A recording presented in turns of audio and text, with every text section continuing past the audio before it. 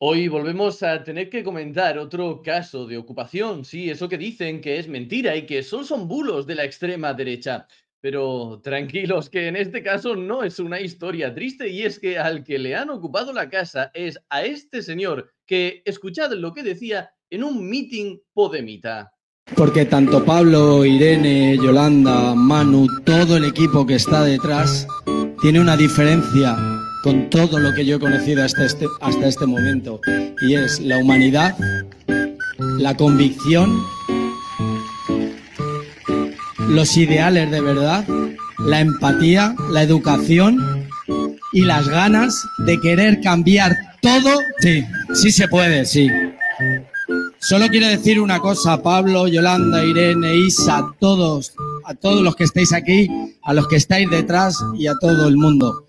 Yo solo estoy aquí porque quiero dormir tranquilo, de corazón. Que a veces solo hay que esperar y que la vida nos va a poner en, el lugar que nos corresponde, ya lo veréis. Esperad que hay que escuchar esta frase otra vez. De corazón. Que a veces solo hay que esperar y que la vida nos va a poner en, en el lugar que nos corresponde, ya lo veréis.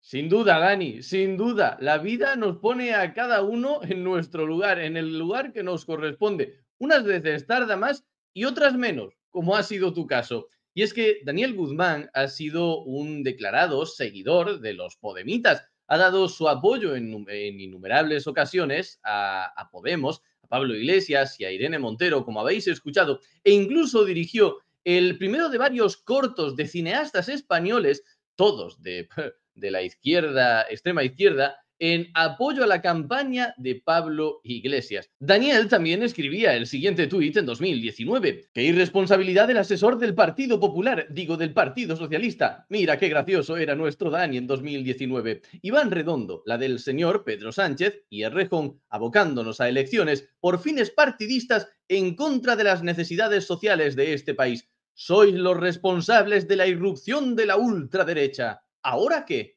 Ahora espera Dani, ¿qué hay más? La opinión de Dani Guzmán sobre Vox se dice que España tiene un retraso de 40 años respecto a Europa. Este, este ser superior, intelectualmente muy avanzado, como podéis ver todos, pues llamaba a los votantes de Vox poco menos que gente atrasada, que no sabía muy bien lo que estaba votando y que este partido nos iba a llevar al pasado. Y bueno, vamos ya directamente con el desenlace de la noticia. Daniel Guzmán condenado por agredir a unos ocupas instalado en una, porque tendrá varias, obviamente, pijo progre, como suele ser, de sus propiedades. de verdad que, en fin. Yo sé que no debería reírme y no debería alegrarme de estas cosas, pero supongo que estoy ya tan hasta las narices que cuando le llega su San Martín a cada uno de estos hipócritas, pijo progres, pues bueno, triste no es que me vaya a poner precisamente porque si sales dando tu apoyo públicamente y haciendo fuerza para que salga votado y elegido un partido que defiende a los ocupas bueno, supongo que te toque a ti uno de estos ocupas, en realidad no es una mala noticia, sino que poco menos que le ha tocado la lotería socialista. ¿No, Dani?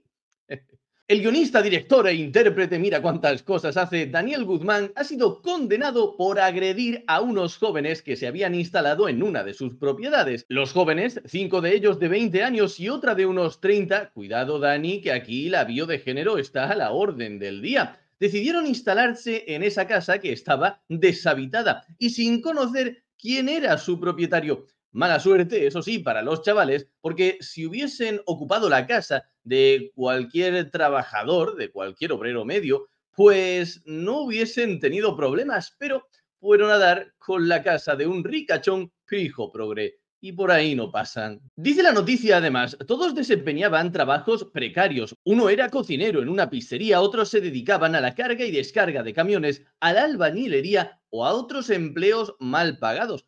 Vamos, que al final trabajo precario es cualquier trabajo que no estés colocado de consultor en una gran empresa. Uno de los agredidos aseguró que la vecina del inmueble estaba encantadísima con ellos. Mira, como no le has ocupado la casa a la vecina, pues la señora estaba encantada contigo, porque estos se dedicaban a cuidarle su jardín. Anda, qué buena gente que son. Te roban una casa, pero oye, le cuidan el jardín a la vecina.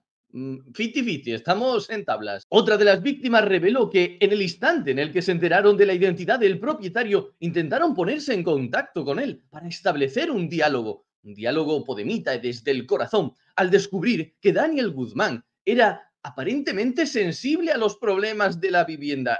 Sí, sí, sobre todo aparentemente. Los hechos. El 20 de mayo de 2023, sobre las 6 horas, los jóvenes se asustaron al ver a cinco hombres, uno de ellos tapado. ¿Quién sería el tapado? Entrar por una ventana abierta del patio interior para proceder a sacarles a golpes de la vivienda. Todo fue muy rápido. Nos pegaron y nos sacaron de la cocina a rastras, preguntándonos por las llaves. En ese momento, los jóvenes reconocieron a Guzmán el hombre tapado, y decidieron grabar un vídeo. Hay estas tecnologías de extrema derecha que ha resultado ser clave para la identificación en el proceso. Según la sentencia, uno de los denunciantes presentaba escoriaciones en el codo, dorso del segundo dedo, cuero cabelludo, labio superior derecho, región supra, etcétera, etcétera. A ver, aquí nos estamos hablando un poco de, Dani Guzmán y su hipocresía, pijo progre. Pero bueno, también hablemos de los chavales a ver, amigos míos, si no queréis salir así a rastras de la vivienda, pues es muy fácil, mm, tremendamente sencillo. Simplemente no ocupéis propiedad ajena. Punto y final. Si no vais metiéndoos en casas que no os pertenecen, es decir, si no intentáis robarle su propiedad a otras personas, ya veréis como no se hacen estas cosas. Guzmán, el actor Pico Progre, ha sido condenado a pagar una multa de 10 euros durante dos meses, equivalente a unos 600 euros en total, además de satisfacer económicamente a la víctima con 350 euros en concepto de responsabilidad civil. Oye, por un lado, sigue mandando narices que intentes defenderte, es decir, hagas el trabajo que en realidad tendría que hacer la policía porque para eso les pagas y aquí mi crítica no es a la policía, sino a los que gobiernan, pues no les dejan actuar, pero encima de que haces tú el trabajo que deberían hacer ellos, encima te cobran, encima te sale a pagar. Eso por un lado, pero por el otro, oye, quizás teniendo en cuenta lo que tarda la justicia en expulsar a los ocupas de tu casa, pues yo diría que a Guzmán le ha salido bastante barata la broma de ser un hipócrita pijo progre. Y para los ocupas, pues bueno, siguen sorprendidos y le vuelven a dar otra pullita al final. No sabíamos que íbamos a ocupar la casa de Guzmán, pero cuando nos enteramos no pensábamos que iba a utilizar los métodos de empresas como desocupa, cercanas a la extrema derecha. Es decir, Daniel Guzmán ha pasado de ser alguien de extrema izquierda, defensor de los podemitas, a emplear tácticas que para los podemitas son propias de la extrema derecha. Es decir, que si quieres recuperar tu casa, que si quieres simplemente defender lo que es tuyo, tu propiedad privada, eres alguien de extrema derecha. En fin, aquí terminamos con este caso de ocupación que por una vez no hemos salido, no sé si vosotros tendréis la misma sensación que yo, pero por una vez no he salido tan triste o tan de mala leche hablando de estos temas. Muchas gracias por ver el vídeo, darle a like y suscribirte para apoyar este pequeño proyecto. Y sobre todo, nunca, jamás seáis, como dice Javier Milei, putos con el culo ajeno. Nos vemos en el próximo vídeo.